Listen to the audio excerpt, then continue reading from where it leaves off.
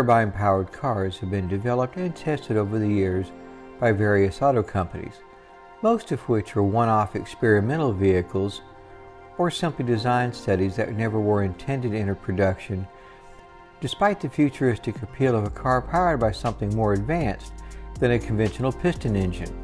A gas turbine automobile engine is mechanically like an aircraft jet engine, the difference being that the turbine is connected to a conventional automobile transmission to propel the car, whereas a jet engine propels a plane with the thrust generated. Despite years of research and development, no turbine car entered production. However, one turbine car project did almost lead to a mass produced vehicles which was Chrysler's turbine car of the mid 1960s. Up to this point, Chrysler had already spent a little more than a decade developing and testing turbine engines in a variety of otherwise standard versions of the company's production cars. And by early 1962, the decision was made to embark on the most ambitious effort to put a turbine car on the road the turbine car and the driver test program. Immediately prior to this, the company had unveiled to the public their Turbo Fury and Turbo Dart cars, both standard Chrysler cars equipped with the examples of the company's fourth generation of turbine engine. These cars were driven in a December 1961 cross-country demonstration trip, and at this time, company officials had hinted at a possible test drive program involving members of the public. The official announcement was made on February 14, 1962, at the Chicago Auto Show that 50 turbine cars would be built and made available to select users by the end of 1963 to evaluate the cars under different driving conditions. During a nationwide dealership promotional tour, questionnaires were sent to people visiting the dealerships who expressed further interest and 80% of those persons answered and returned them. By this time, engine development had already progressed through four iterations of design, and it was this fourth generation design that was selected for use in the turbine cars for the driver test program. Examples of the engine had already been put through both extensive static testing as well as in other vehicles and was rated at 130 horsepower and 420 foot-pounds of torque which was comparable to the company's Hem, eh, Hemi engine of the period. In addition to the power achieved with the engine, one of the engines lasted for 5,000 hours in static testing compared to the 3,000 hour operating life of a piston engine in similar testing. In the process of exploring possible designs for the car to be purpose built for the consumer test program, more futuristic designs were rejected as the intent was to produce a more conventional contemporary design with the emphasis on the turbine engine and driver reaction to driving a conventional car powered by the turbine engine. From the beginning, the goal was to produce a turbine powered version of the proverbial family car rather than attempting to mass produce a production version of the many futuristic and visually striking designs reflected in the concept vehicles and future themed art of the period that ultimately would have been impractical to make into a functional vehicle for consumers to drive. For example, during the previous decade and into the early 60s, General Motors built and tested their series of four Firebird turbine-powered concept cars that were aesthetically very impressive and showcasing forward-thinking ideas in automotive design. And while undoubtedly make, making a lasting impression on people who saw them at various auto shows, they resembled wingless jet fighter aircraft or science fiction fantasy vehicles rather than anything that would have actually been on the road in the 1950s or 60s, or even today for that matter. The final design for the turbine car was created by former Ford designer Elwood Engel with the Italian design studio Ghia, which specialized in handmade car bodies commissioned to construct the vehicles. Engel's previous work for Ford designing the Thunderbird was perhaps obvious to some, and the car was jokingly referred to as the Engelbird as a result. Car bodies were built in Italy and shipped to Detroit painted and with exterior trim and interior upholstery complete, with the installation of the turbine engines, chassis, electrical system, gauges, radios, and heating systems taking place at Chrysler facility. The exterior was styled to give a space-age appearance in line with the cutting-edge nature of the car's turbine engine, with fins on the headlight bezels and an aircraft inspired rear end with a special turbine bronze paint job. The interior was also turbine bronze color with leather upholstery and pile carpet and other surfaces in brushed aluminum. The dashboard was identical to that found in other cars except for the tachometer reading up to, up to 60,000 RPM as opposed to the 8,000 to 9,000 RPM common for V8 piston engines, and a pyrometer gauge that displayed engine inlet temperature which ran around 1800 degrees Fahrenheit or about 1000 degrees hotter than most piston engines. One thing the cars lacked were air conditioning because the engines lacked sufficient power to drive an air conditioning unit, although many cars during this time were built without standard air conditioning units. The cars were equipped with both power steering and power brakes, which are augmented by a pneumatic system to compensate for the lack of engine braking drivers were used to on piston engine cars. The transmission was a modified version of the company's TorqueFlite automatic transmission. The transmission's use with the turbine engine allowed for a simplified lubrication system in which fluid was circulated through both the engine and transmission and not requiring the use of oil. A conventional 12 volt electrical system was not adequate enough to operate the starter to spin the turbine when starting, so a 20 volt system was installed. Two 12 volt batteries powered the starter, then the electrical system switched to, to 12 volts from one battery. Initial test drives of the first five cars built took place in early 1962. These were the five test vehicles built prior to the 50 cars assembled for the consumer test program. The designer's intent to produce a car that was both modern and practical met with success. And reaction to the car's design was overall positive, and people were impressed with the combination of contemporary styling and state-of-the-art technology. No official name was given to the car, and they were referred to simply as Chrysler Turbine cars or the Ghia Turbine. The car was almost named Typhoon, and one car was seen being uncrated after transport from Italy in promotional footage with a Typhoon badge, but all cars were ultimately badged simply as Turbine.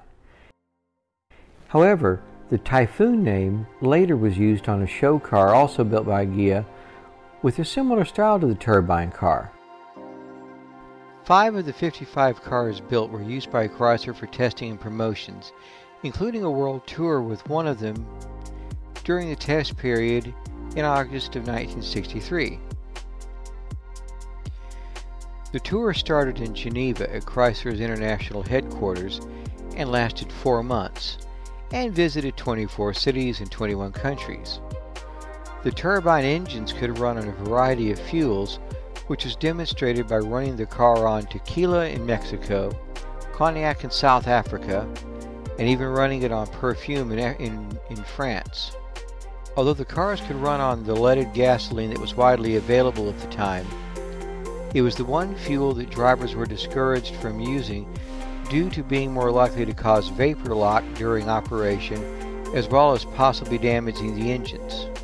Unleaded gasoline, called white gas at the time, was however listed among the fuels the cars could run on, along with diesel oil, kerosene, and JP4 fuel for aircraft jet engines.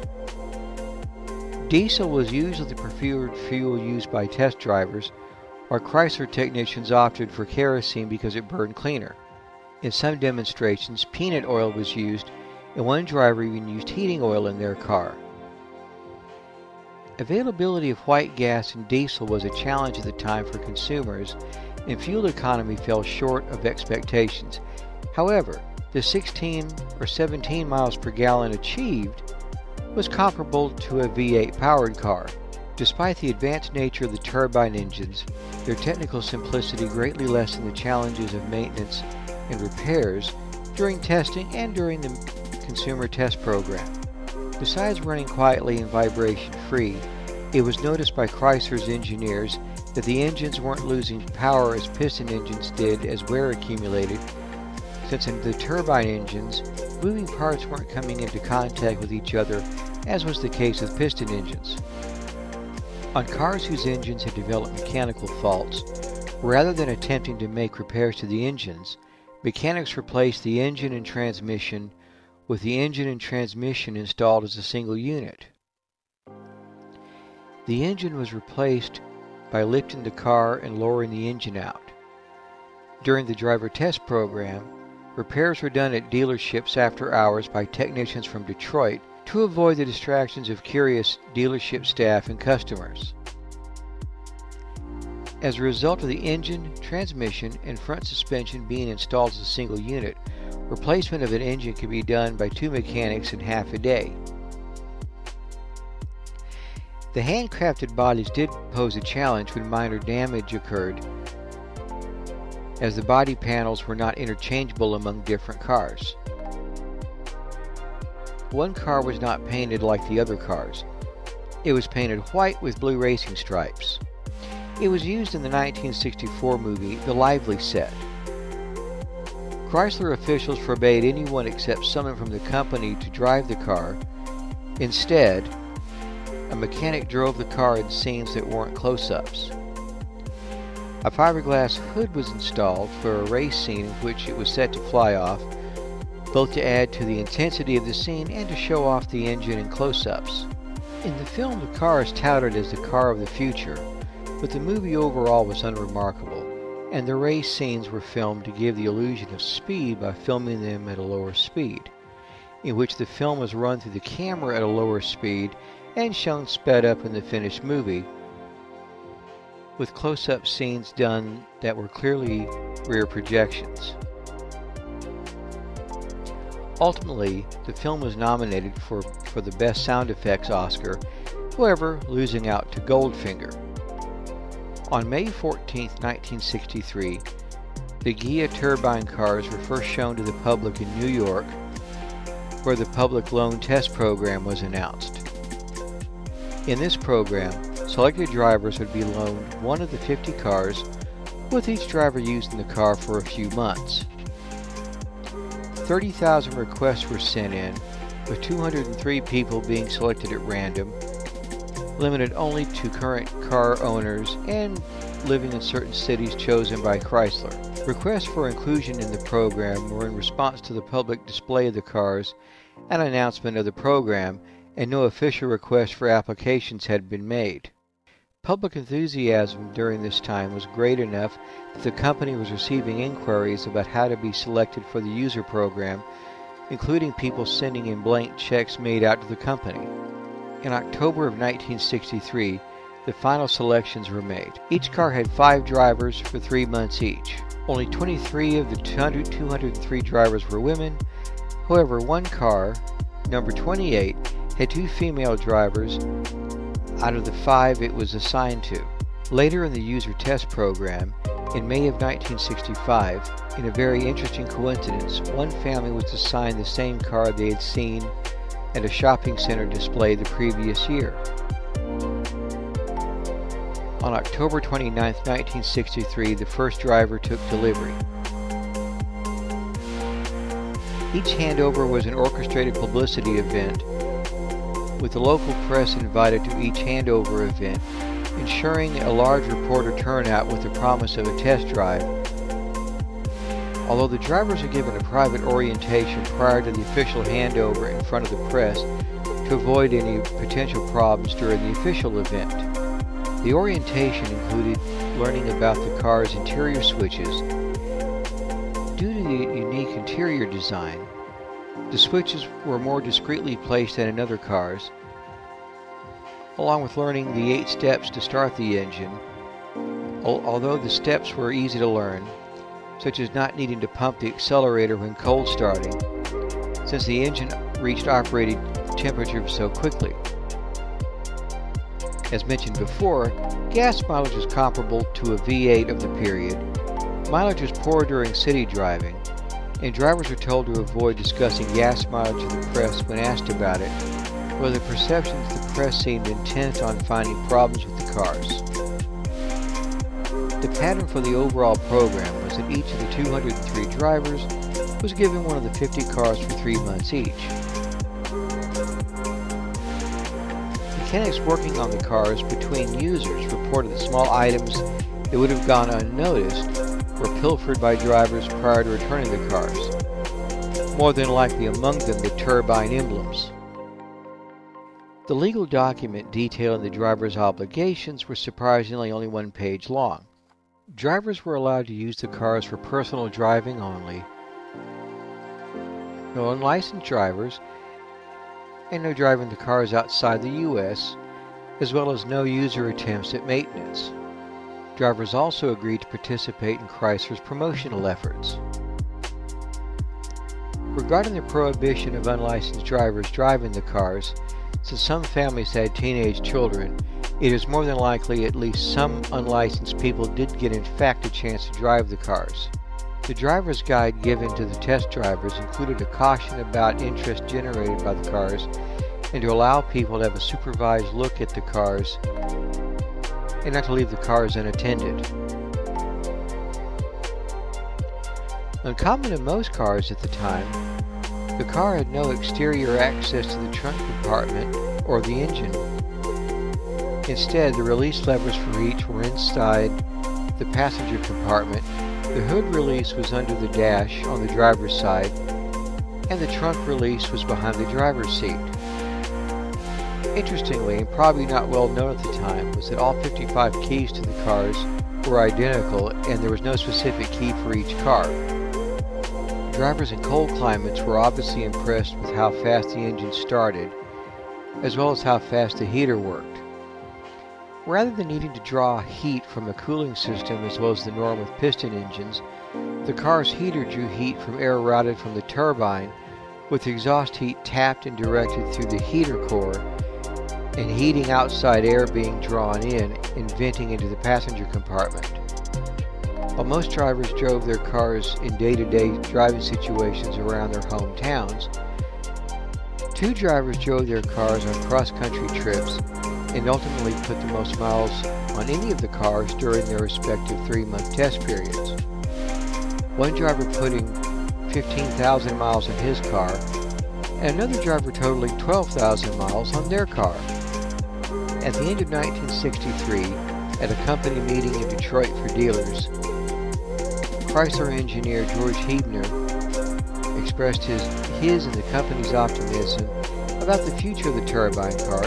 However, at a Society of Automotive Engineers conference in Detroit in January of 1964, Huebner was more cautious in his optimism. In his speech, while touting the successes up to that point of the turbine program, omitted the problems encountered with the turbine engines in earlier um, tests.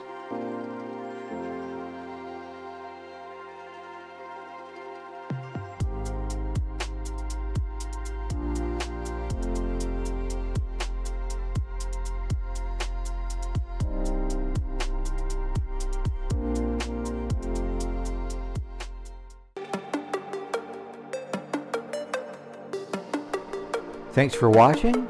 If you enjoyed this video, please like and subscribe.